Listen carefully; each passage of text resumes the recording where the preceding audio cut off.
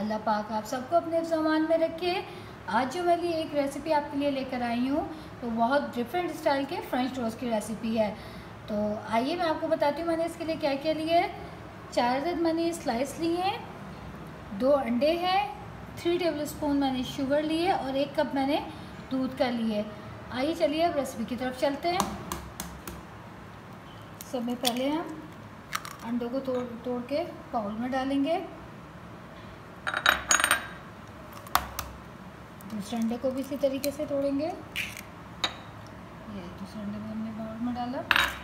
अब हम इसमें थ्री टेबल स्पून शुगर शामिल करेंगे। रहे। अब इसको अच्छे तरीके से मिक्स कर लेंगे।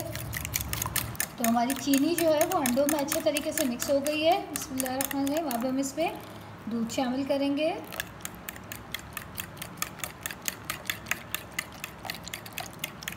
ये हमने दो अंडों में जो है एक कप दूध लिया है, ठीक है? ये देखें, बहुत बेहतरीन है, बिल्कुल सही है इतना दूध इसमें। अच्छा थोड़ा सा हम इसमें फ़ूड कलर भी शामिल कर लेंगे। थोड़ा सा ये कि कलरफुल हो जाएगा, चाहे तो ऐसे भी रखें, किसी को इस तरह का पसंद है तो ऐसे भी रख लें। हम इसमें थोड़ा सा फ़ूड कलर भी शामिल करेंगे। ताकि इसका खूबसूरत सा थोड़ा ऑरेंज और येलो की तरह का कलर आ जाए। थोड़ा सा और शामिल करेंगे हम इसमें। ये। बहुत मज़ेदार बनते हैं, आपको बहुत पसंद आएँगे। मेरे इस तरीके से आप रेसिपी बनाइएगा, आपको ज़रूर पसंद आएगी।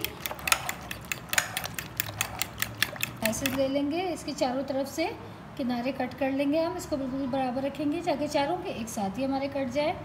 तो बारीक सी लेयर जाएगी, ये देखें ये हमने स्लाइसिस कट कर हैं।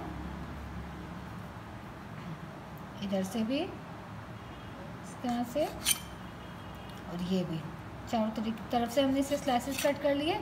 अब मैं आपको बताती हूँ अगला स्टेप हमारा क्या होगा।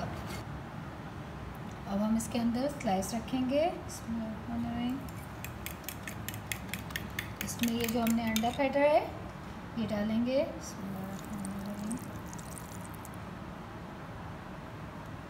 अच्छे तरीके से अंडे में ये जज्ब हो जाए। इसको बहुत एहतियात के साथ हम पलटेंगे। कि ब्रेड को जो है, जितना इसको जस्ट करना है, ब्रेड कर ले। साथ साथ इसको इस तरह से भी, ऐसे भी हिलाते जाएँ। ये देखें, इस तरह करके, इस तरह से इसको हिलाते जाएँ। इसके ऊपर से थोड़ा सा हम और डालेंगे। ये हमने डाल दिया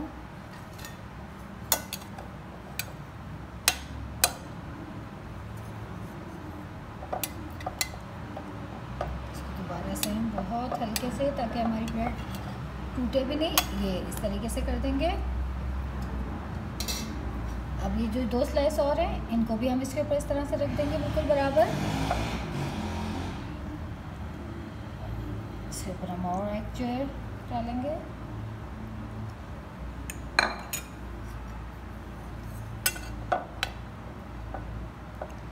इसी तरह इसको भी बहुत एहतियात से टर्न करेगा दो स्पून यूज़ कर लेगा आप लोग भी। एक के, इस तरह, एक की सपोर्ट लेके ऐसे दूसरे को। करें आप। ये इस तरीके से इसमें रख के इस तरह करते जाएँ आप इसको इसमें।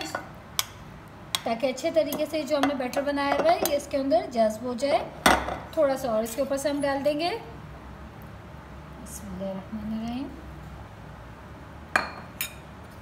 बहुत मज़ेदार बनते हैं, बहुत यमी बनते हैं। ज़रूर बनाइएगा आप और मुझे बताइएगा आपको कैसे लगे। और आप लोग जो जो मेरी रेसिपीज़ देख रहे हैं और मेरी पिछली रेसिपीज़ भी देखी हैं तो प्लीज़ जिसने सब्सक्राइब नहीं किया अभी तक, वो ज़रूर सब्सक्राइब करें।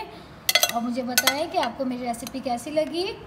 अच्छा अब जो है हम इसको सर्फ लेकर आते हैं। इसके अगला स्टेप दिखाते हैं आपको। हमने जो है फ्लेम ऑन कर दिया है। चूल्हे का, अब हम इसमें थोड़ा सा बटर डालेंगे। इस तरीके से।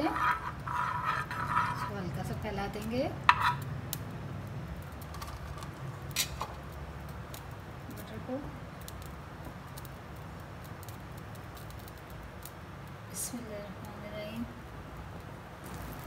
बटर हमारा मेल्ट हो चुका है। अब हम इसके ऊपर ही अपने फ्रेंच टोस्ट रखेंगे। और इसको बहुत एहतियात से हमने जो है बहुत स्लो फ्लेम पे हमने इसको फ्राई करना है। फ्लेम बिल्कुल भी तेज़ नहीं करना है, ताकि हमारा जो है जले नहीं, बहुत हल्के फ्लेम पे और बहुत खूबसूरत कलर का ये फ्राई होगा और बहुत ही मज़ेदार यमी ये देखें। इस तरीके से फ्राई होगा और इसका लाइट लाइट करके जो है गोल्डन कलर इस पर आता जाएगा। आप जल्दबाजी के चक्कर में कोई भी प्लीज़ फ्लेम जो है इसका तेज़ नहीं करिएगा हल्के फ्लेम पे इसे फ्राई कीजिएगा। ये देखें, इसको हम टर्न करेंगे। ये देखें। स्लो फ्लेम रखनी है। आपने फ्लेम का बहुत ख्याल रखना है कि फ्लेम हमारी स्लो रहे। देखें कितना प्यारा इस पंछी सा बन रहा है। इतना खूबसूरत। साइड से, ये देखें। अभी हम साइड से भी इसको कलर देंगे। लाइट जो गोल्डन से इसको फ्राई करेंगे।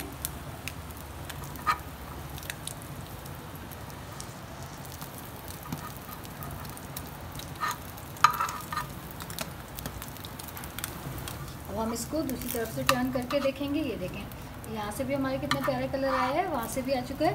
अब हम इसको बस, ये काम है आपका सारा कि इसको इस तरीके से, एहतियात से आपने पकड़ना है। इसकी चारों साइड्स जो हैं, इनको भी इसी तरीके से आपने फ्राई करना है गोल्डन इसको एहतियात से इस तरह इस तरह इसको तो टर्न करते जाएँ, रख दें। फिर दोबारा से इसको इस तरीके से लेंगे स्पून पे। फिर इसको इस तरीके से टर्न करेंगे। संभालना ये देखें ये देखें हुआ है। इसकी ये देखें, इसकी साइडों पे भी गोल्डन कलर आने लगे तो जलाना नहीं है, आप, आपने इसको ये देखें। इस तरीके से मैंने इसकी चारों साइड्स भी स्लो चूल्हे पे फ्राई कर ली हैं, कितनी अच्छी। देखें कितना खूबसूरत सा कलर आ रहा है, लगना लग रहा है ना? फ्रेंच रोस्ट केक ये असल में फ्रेंच टोस्ट केक बना रहे हैं। बहुत यमी बनता है, बहुत फ्लफ़ी यमी बहुत इंटरेस्टिंग भी है ये। देखें ना, बिल्कुल डिफरेंट सी रेसिपी है। थोड़ा सा और कर लेंगे हम साइड से, तरीके से, ताकि खूब अच्छे से हो जाए। और बटर का जो इसमें टेस्ट आएगा ना इसके साथ, बहुत ही लजीज है। इसकी खुशबू भी बहुत मज़ेदार आ रही है। और दूसरी तरह के टोस्ट से जो है, बिल्कुल डिफरेंट आ रही है फ्रेंच टोस्ट से। आप बनाइएगा ज़रूर ये रेसिपी और मुझे बताइएगा भी कि आपको किस तरह की लगी है, पसंद आई कि नहीं आई है। और मुझे पूरा है ज़रूर पसंद आएगी। ये देखिए।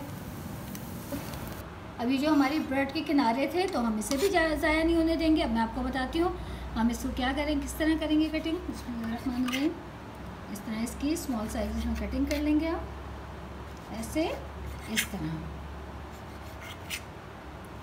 इसकी आप कटिंग कर लें। और आप अब देखें कि अब हम क्या करते हैं इसको टोस्ट करेंगे आप। और इसकी सर्विंग कैसे करेंगे, वो तो बहुत ही इंजॉयबल है।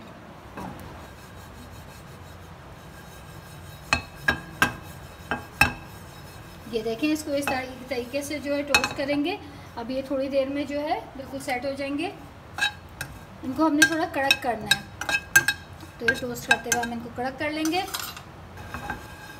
ये देखें, ये मैंने इसको इस तरह तरीके से मुसलसल हिलाती रही हूँ और इसको क्रिस्पी कर रही हूँ इस तरह चूल्हे पे। बस ये अब हो गए अब देखिए, अब मैं इसकी किस तरह सर्विंग करती हूँ। ये देखें, ये हमारा फ्रेंच टोस्ट तैयार है। अब मैं आपको इसको कट कर करके दिखाती हूँ। देखें कितना बेहतरीन हुआ है। ये देखें आप, इसमें। तो लीजिए, ये हमारा फ्रेंच टोस्ट केक तैयार है। यकीनन आपको बहुत पसंद आएगा। ये देखें। कितना ज़बरदस्त है। खाने में बहुत मज़ेदार है। मैं तो भाई जल्दी जल्दी से इसको खा रही हूँ। आप ही बनाइए, अपना ढेर सारा ख्याल रखें और मेरी जो रेसिपीज़ को लाइक करें शेयर करें सब्सक्राइब करें। अल्लाह हाफिज़।